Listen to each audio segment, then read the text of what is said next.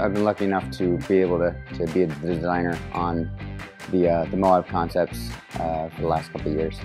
You just have a vision and you execute it.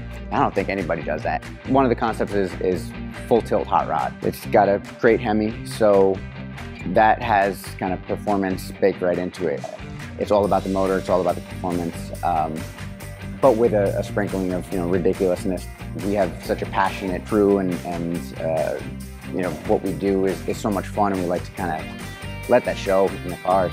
This one definitely kind of gets a little bit more to a futuristic feel. It's more technical. It's a lot more about the experience of kind of overlanding. If you've been uh, wheeling before, the, the scenery is part of the whole experience.